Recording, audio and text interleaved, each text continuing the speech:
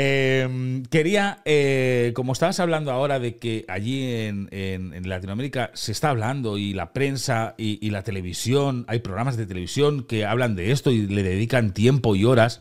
Yo ya te dije en tu canal que aquí en España esto no está sucediendo. Es todo lo contrario. Aquí es como si no estuviese ocurriendo, como si no pasase nada, ¿vale?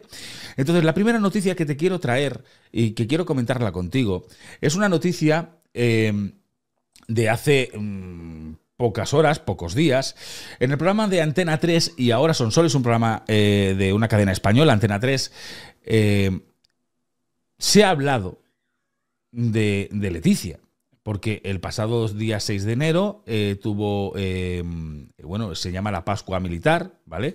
En la cual van los reyes a felicitar a los militares y todo esto, ¿no? Y se vieron unas imágenes de, Leticia como que estaba mm, más delgada de lo normal, lo dijo Pilar Eire el otro día en su vídeo, más delgada de lo normal, muy seria, y, y, claro, de todo esto se ha especulado. Y un programa de televisión se ha tratado. Y los que estaban allí, los periodistas que estaban allí, querían hablar de que Leticia estaba mal por lo que realmente está mal, y la presentadora, que es Sonsoles Sóniga, intentó cortarlos en seco. Voy a compartir la pantalla, vamos a ver la noticia, y, para que veas, porque es una noticia que tiene que saber también toda la audiencia, y para que veas que eh, realmente en España de esto no se está hablando. Y si se habla, se intenta cortar. ¿Vale? Dice, el titular es potente. Sale del Burgo en Antena 3. Tensión en plato. Sonsoles Sónica censura. Una palabra.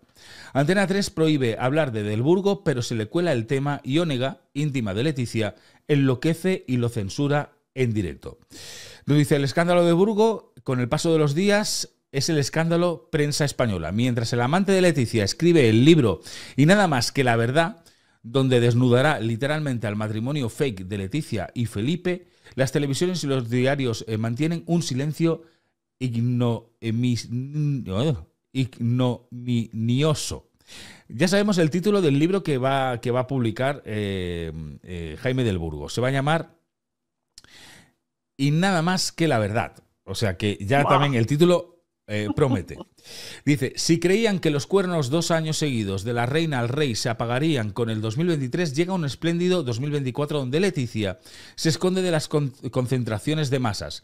Felipe luce cara de poca pena y todo el mundo, del ejército a los monárquicos, miran ya hacia Leonor. Se da a Felipe por amortizado. El caso es que las televisiones siguen haciendo información de Casa Real como si nada pasara. Un caso eh, de manual del emperador va desnudo, donde eh, todo el mundo lo ve y él cree que no.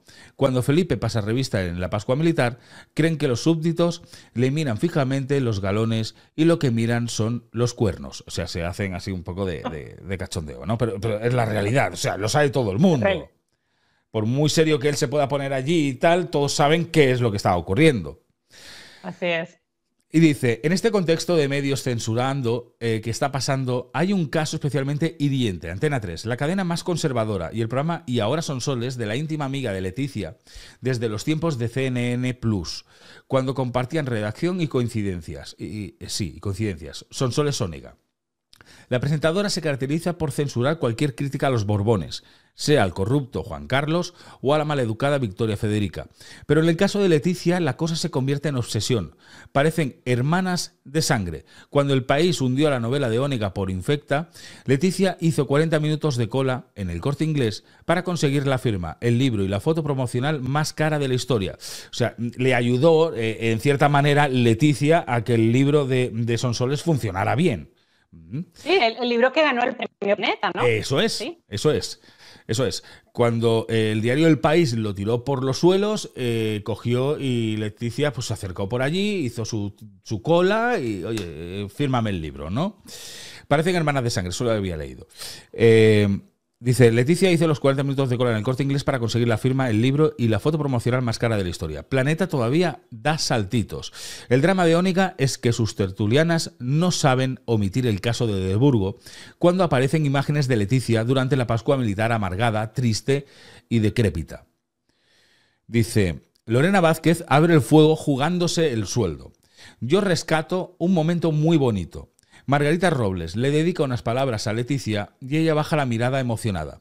Paloma García Pelayo.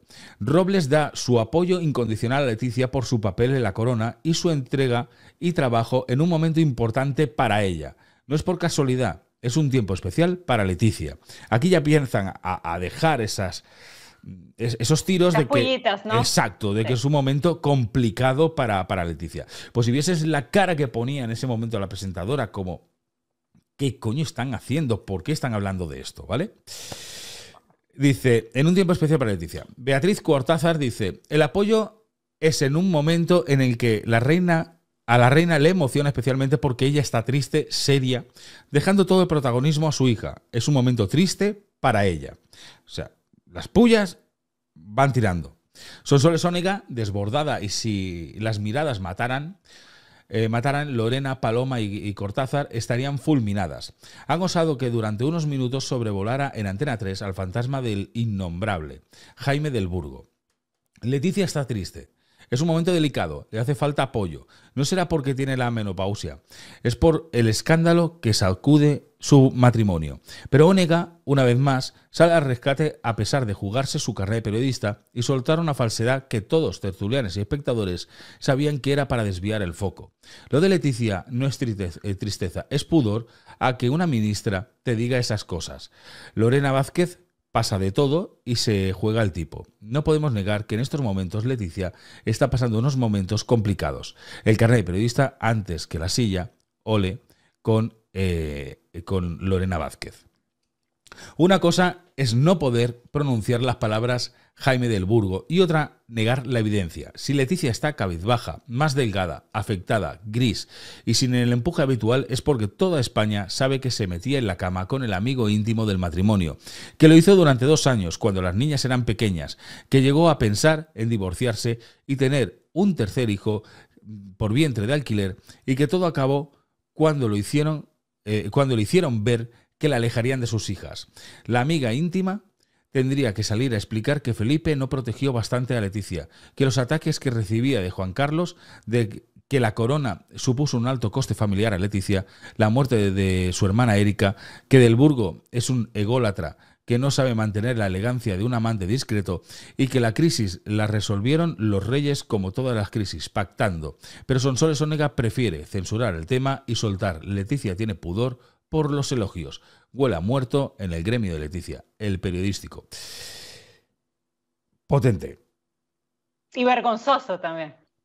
Potente porque esto es lo que está pasando en España. Por eso cuando yo te lo dije y tú me mirabas con cara de extraña en tu canal cuando decía, es que no se está hablando. No se está hablando.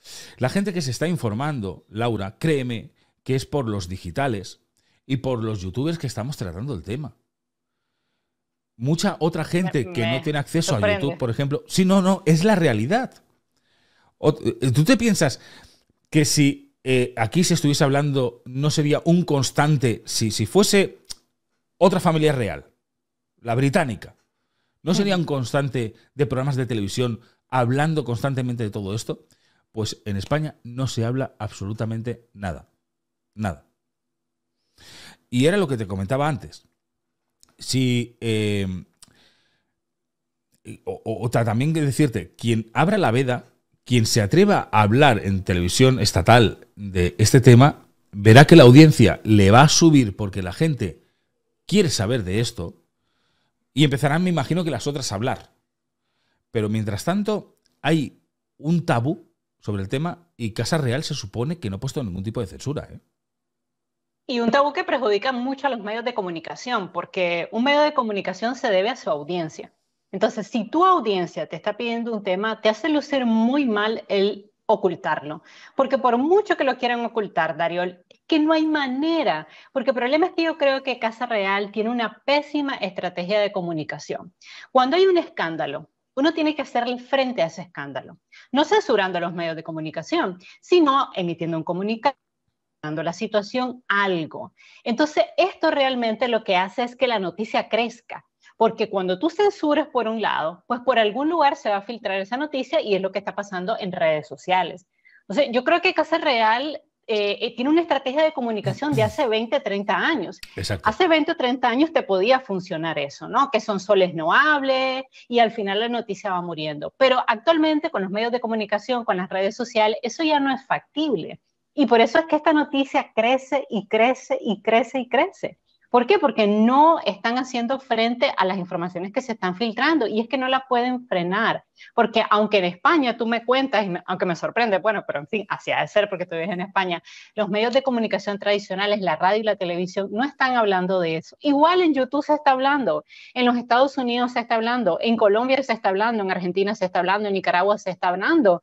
Entonces, realmente, pues no pueden ocultar el escándalo. Es que el titular es demasiado fuerte para que el resto de los medios de comunicación no lo repliquen. Imagínate una reina consorte, ¿no? Con todo lo que representa la realeza, que ha sido infiel con su cuñado. Es que es muy fuerte. es que ese es el titular, con su cuñado.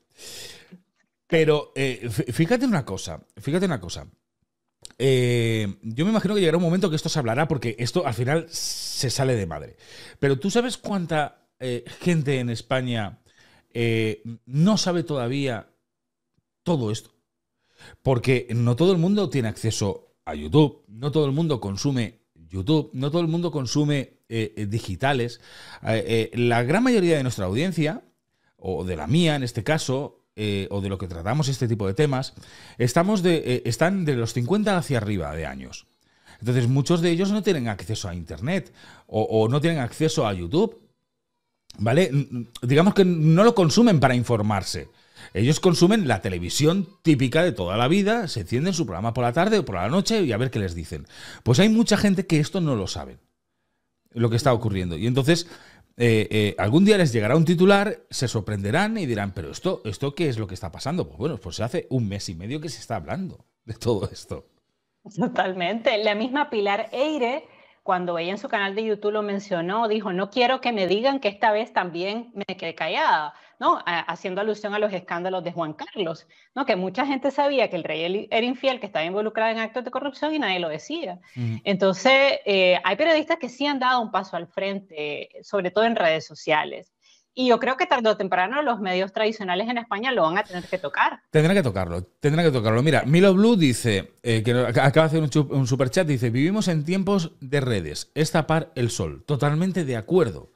Porque tú al final eh, cuando eh, en la red, da igual sea una red social, eh, como Twitter, como Instagram, como Facebook, YouTube, la que sea, empiezas a soltar la información, eso corre por todo el mundo.